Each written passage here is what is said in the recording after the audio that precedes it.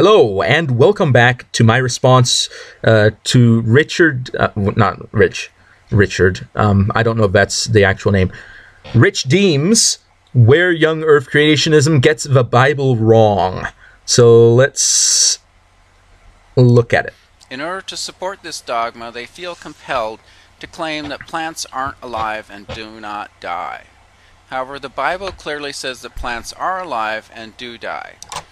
Uh, unfortunately, this is in effect not a, a straw man argument. Uh, I don't think it's intended to be a straw man argument, though, because the argument you gave that you tried to counteract was the one that creationists say nefesh chaya is used to refer to the categories of things that they believe didn't die.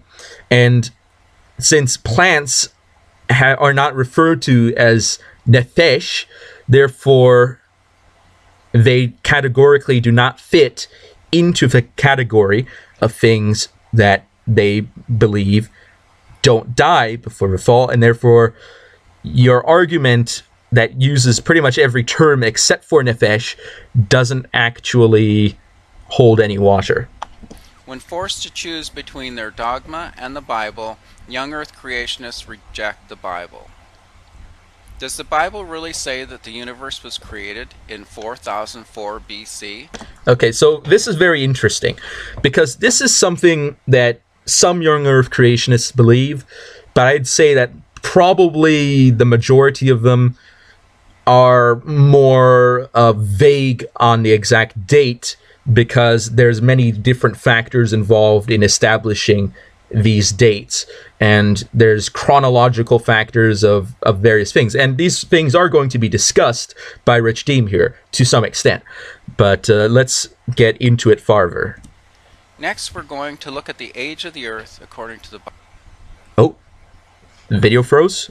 No? Oh no just Contrary audio to cut. what many Christians believe, the chronology of Archbishop Ussher was not just a sequential list of continuous geolo- genealogy.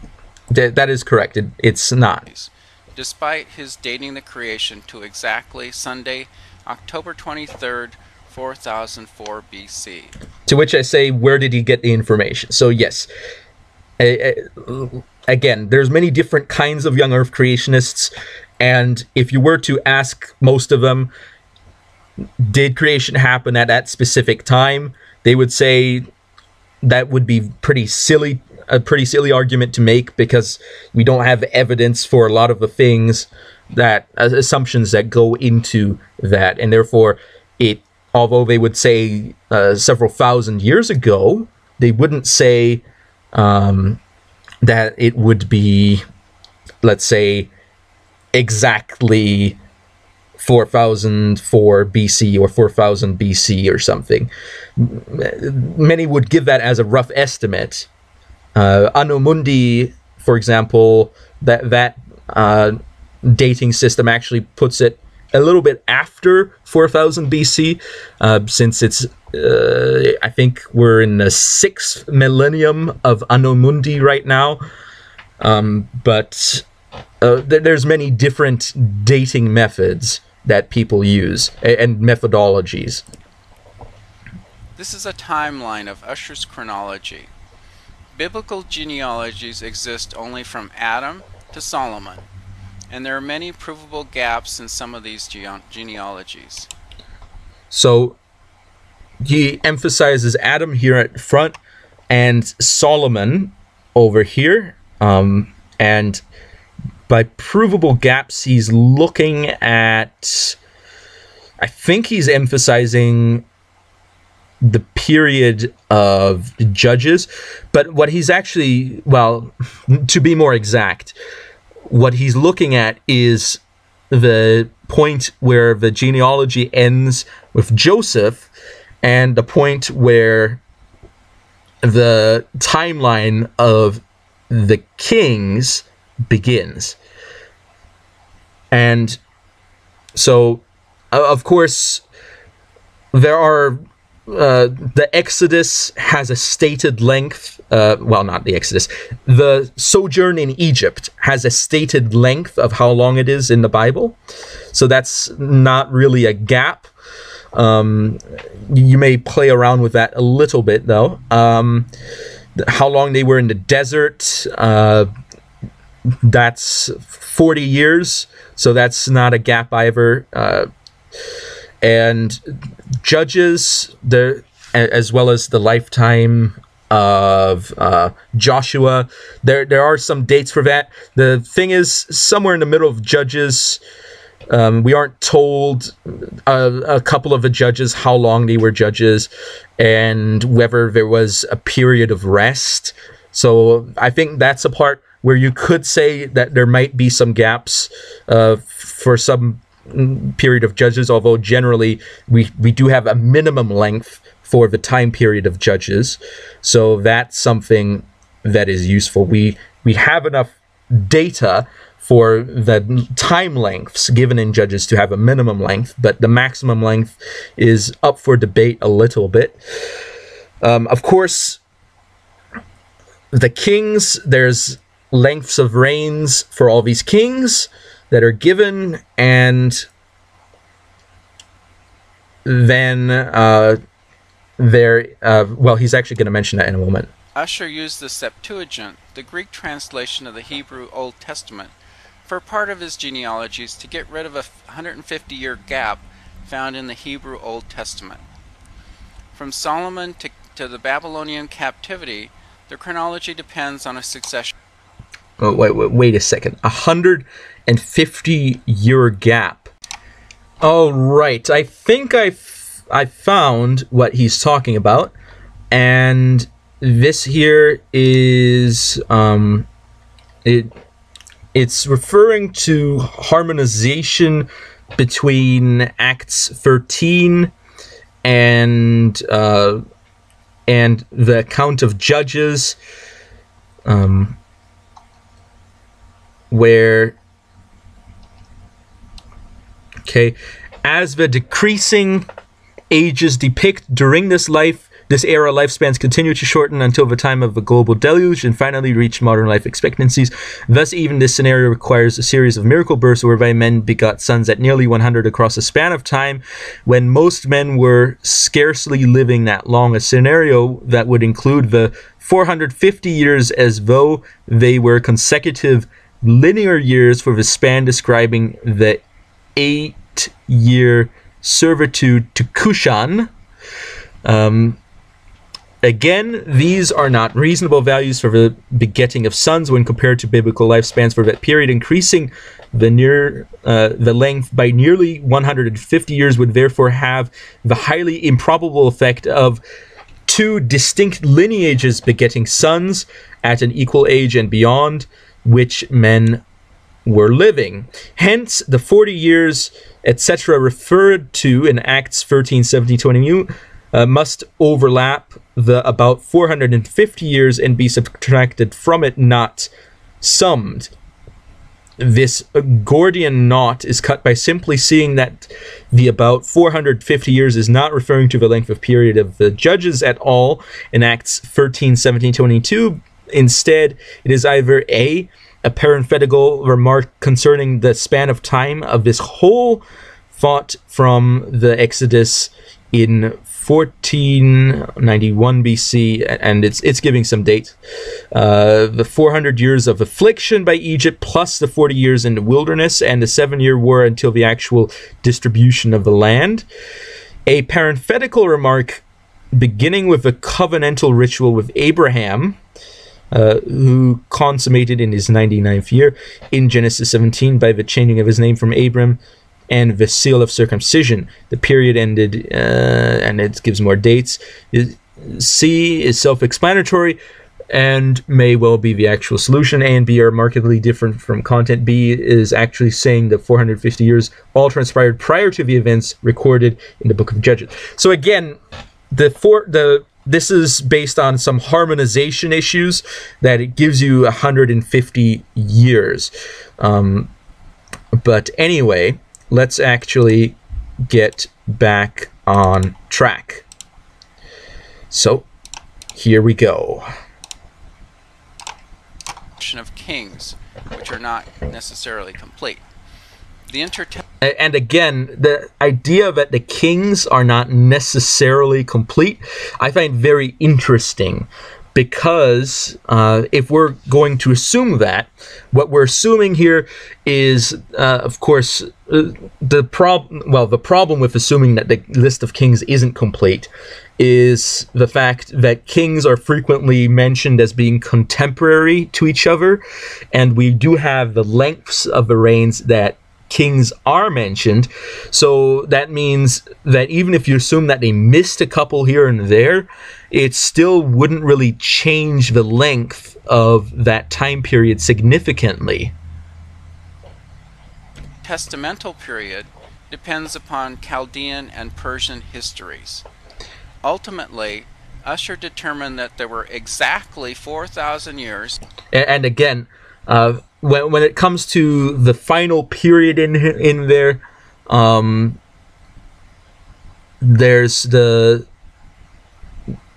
the interpretation that is being made is 490 years. And that's of course referring to the prophecy of 70 weeks which many interpret as uh, coming from the time of the end of the exile uh, or, or, the rebuilding of the temple, or there's a number of dates where people start it because the date that you end up with uh, is is different to the time when either Jesus died or sometime after he died, if if you assume that uh, the death occurred in the middle of a week, or maybe the time Jesus was born. And then there's a gap theory people have about that, where you say the seventh week doesn't happen until a long time after, which I think is kind of weird. Um, but uh, uh, that's that's the implication that's being made uh, that you see here that well not not the implication uh, that there's a gap the implication that the 70 weeks is referring from a time period from the end of the exile to the time of jesus um, and of course if you look historiographically okay you understand that that does match up in the sense of the time period that that generally would have happened in. Uh, the rise uh, of Persia, the conquest that Persia made of Babylon. Now, of course, a lot of ancient dates aren't really set in stone. Um, so then, with the historical context, you go back.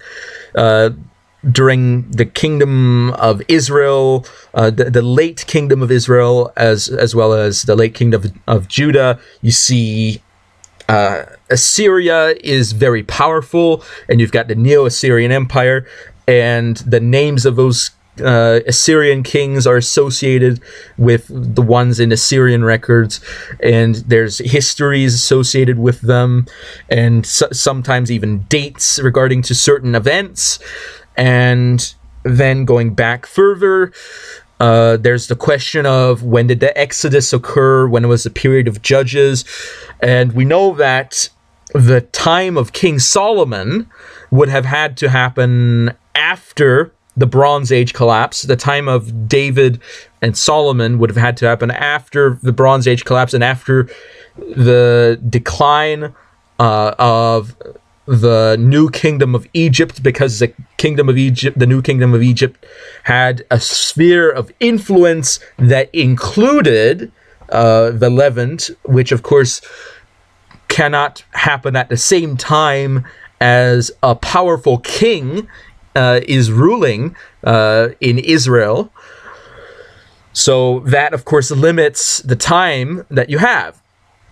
But when it actually concerns the genealogy that occurs before that, uh, and of course, uh, the time of Joseph would have been before the Bronze Age collapse, and and when it actually concerns the genealogy that you have coming up to Joseph here, what you may notice is that there are numbers, and those numbers not only refer to the lengths of time spans of these individuals uh, that that they lived, as it is referenced in the Bible, but it also there's numbers referring to how old they were when they uh, gave birth to the next uh, generation, which is interesting because the implication we get from that is that, uh, assuming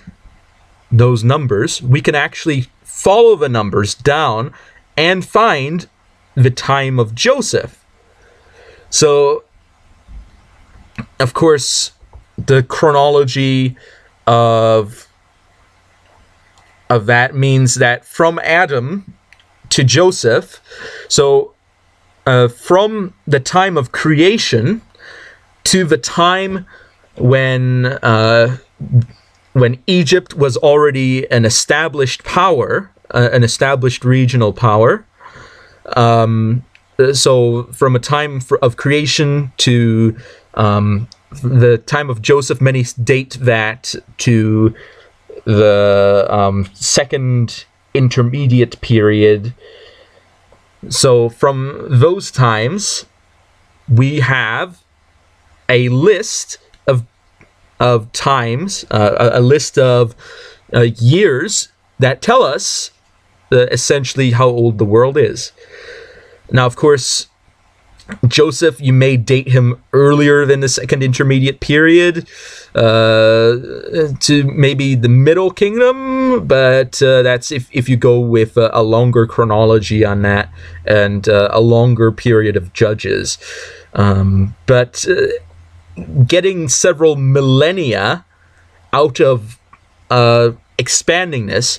And now, of course, when it comes to the years, it doesn't tell us how many months old they were. So you, you can you can uh, you you can accordion that out a little bit. Um, but going from uh, maybe there's a couple hundred years, maybe uh, a few decades, that we can stretch the timeline out going from that to let's add tens of thousands of years doesn't make it consistent anymore because at that point you're coming to a point where you have to believe that the period of judges is more than a millennium long and that uh, Joseph may have been in Egypt at uh, the early, uh, uh, very early on in in the Old Kingdom, or perhaps in uh, the the proto dynastic period, um, Chalcolithic age, uh, uh, which of course at, at, that point things are getting a bit weird. But we know that in Moses we have references to bronze and iron, which means that when it comes to iron, iron was known in Egypt and was produced in Egypt from at least the Middle Bronze Age. Uh, but of course, it only became very widely used after the Bronze Age collapse, uh, but not as much in Egypt because Egypt still uh, relied on bronze more than other powers in the region did. Uh, so the, uh, the latest, uh, oh, sorry, the earliest you can put the Exodus, in my opinion, would be the Middle Bronze Age, but that's really stretching it because from we know how long the Exodus is, and we also know how long uh, the people lived in Egypt, and we know how long the generations are from Adam. So adding all those up, even with even if you go with a Septuagint to maybe get some larger numbers, it's not going to give you several extra millennia. Uh, but uh, let, let's continue on. Between the beginning of creation and the birth of Jesus, which seems a very unlikely coincidence. Yes, it is a very unlikely coincidence. And many young earth creationists will point that out to you and will say that it's a rough estimate for them uh, not a, an exact number. Although Ussher came up with less than 100 generations from Adam to Jesus, many Old Testament verses indicate that there were actually All right, all right, all right, all right. Let's let's analyze these because this is I think an argument that is very shallow because I I looked at this earlier and let's let's look at first of all Exodus 20. So let me get my uh, Bible Gateway. There we go. Exodus 20, since it's the earliest reference, and I think the one that, uh, judging by the analysis here, is the one that is precedent to the others. So Exodus 20, verse 6. All right, and let me transfer over. Uh, that's the other thing, and for some reason, I keep losing my images here. Maybe I've got too many windows open. There we go. Exodus 20, the Ten Commandments. Uh, and let's see.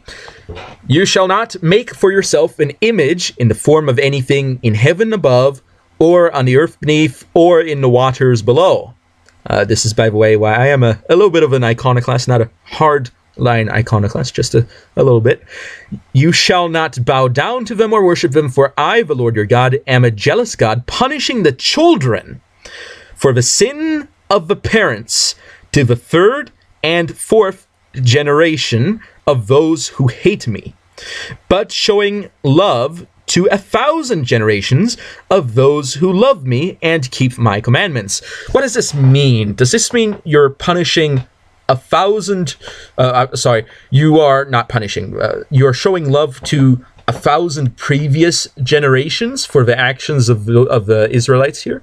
No, what it's saying is it, this is referring to generations generate to give birth, to bring forth. It is referring to their descendants, a thousand generations, not to their ancestors, to their descendants.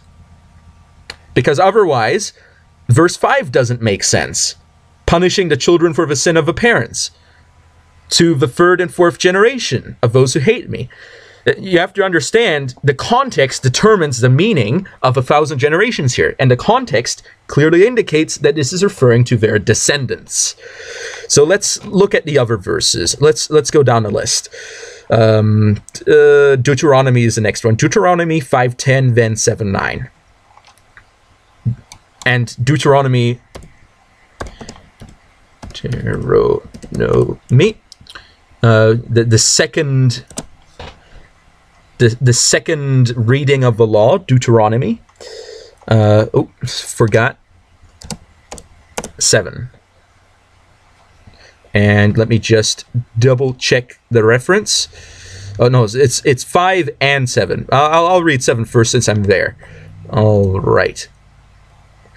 Deuteronomy seven nine.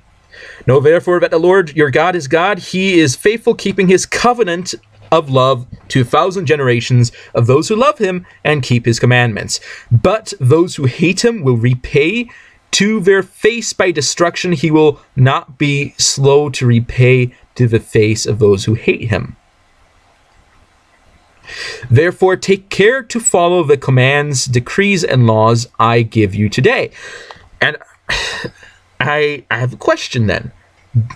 Do these people is he telling them that their actions are affecting their ancestors? Because, of course, this is the second reading of a law, so it's obviously referring back to the first reading of a law. And we know in Exodus that this was referring to their descendants. So let's let's do chapter 5 and what's the verse? Uh, let me cycle through all my tabs. I've got way too many open. 510. All right. Oop, got to cycle again. Accidentally overstepped my bounds. 510. Okay. You shall not make for yourself an image in the form of anything in heaven above, or on the earth beneath, or in the waters below. So it's re- restating the seven, com- the sorry, seven, the ten commandments. You shall not bow down to them or worship them, for I, the Lord your God, am a jealous God, punishing the children for the sin of the parents to the third and fourth generation of those who hate me, but showing love to a thousand generations of those who love me and keep my commandments. What does that mean? Their descendants, not their ancestors. Um, And now let's go to First Chronicles 16.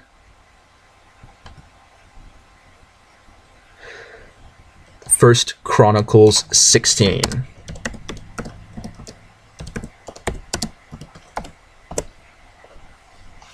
And the verse is verse 15. He remembers his covenant forever, the promise he made for a thousand generations, the covenant he made with Abraham, the oath he swore to Isaac. He confirmed it to Jacob as a decree to Israel as an everlasting covenant. To you I will give the land of Canaan as the portion you will inherit. The, the covenant that we're talking about here, is this a covenant that goes back a thousand generations, or is this a covenant that proceeds for a thousand generations? And oh wait, wait, uh, everlasting covenant. Hmm, are we actually talking about literally a thousand generations here, eh? Maybe that's uh, not actually saying literally a thousand generations, but nevertheless, an unfathomable number of descendants, an unfathomable amount of descent, uh, un- so many generations down the line, a thousand generations. Uh, you know, it's like when uh, Jesus says that uh, you should forgive 70 times 70. So I, I, think that's the type of implication that is being made here. Um, but it's talking about that he will keep his covenant forever. The promise he made for a thousand generations. And who did they who did who did he make the promise to? Abraham. Isaac, Jacob, Israel. He's not talking about Adam here. He's talking about the covenant he made with his chosen people. And remember, at the time that this is being written, I don't think that we can reasonably say that a thousand generations had passed at the time that this is being written here in Chronicles. So this is, in fact, talking about their descendants. And finally, Psalm 105 8.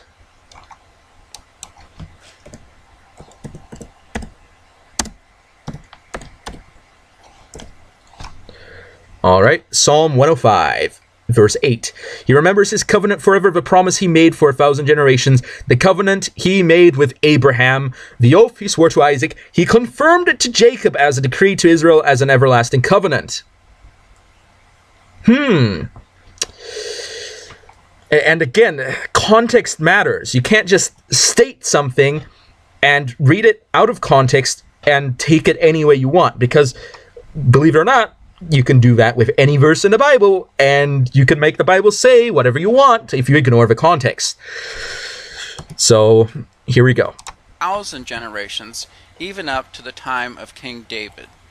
Uh, Mm, again, it's talking about their At descendants dis- coming from the time of Abraham. Per generation, this would put the creation of Adam at least 40,000 years ago. And this is pretty interesting because what he's saying is that a generation has to be a specific period of time, 40 years here, which is, of course, contextually not what is being stated because he's actually saying the children of those who hate me to the third and fourth generation in in a contrasting statement.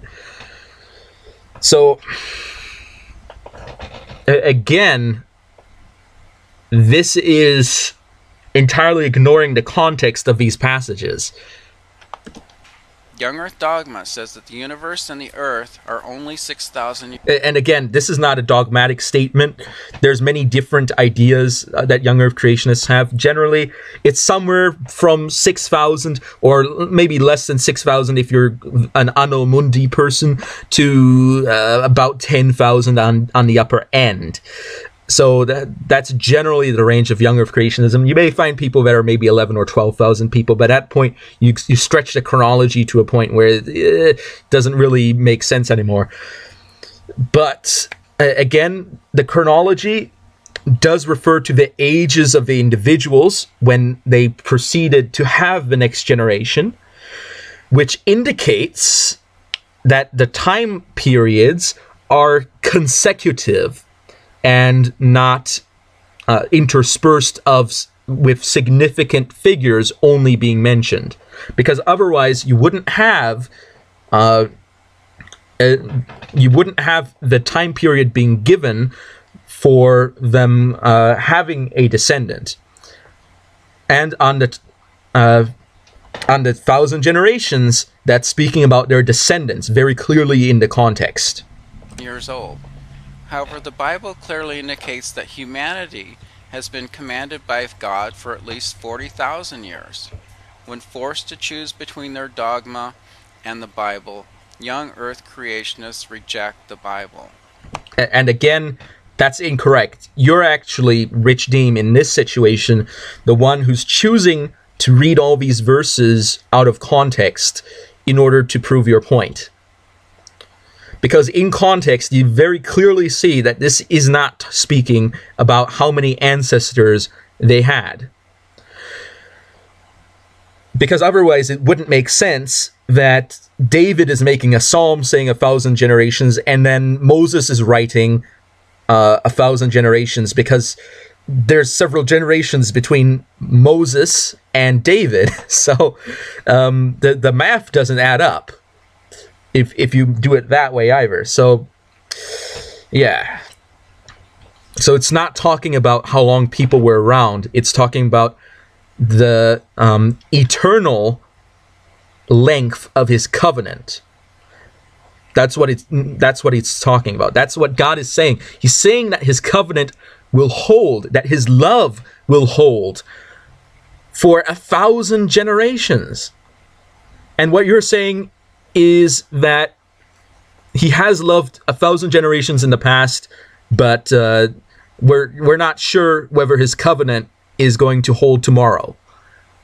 Because the statement used to indicate that his covenant is going to be held is what you're delegating to something that is occurring in the past and not something that is ongoing as is being implied by the verses. But of course, I, I'm not saying that you're saying that the covenant is temporary. What I am saying is that you're taking the verse and implying that it means the exact opposite of what it actually means.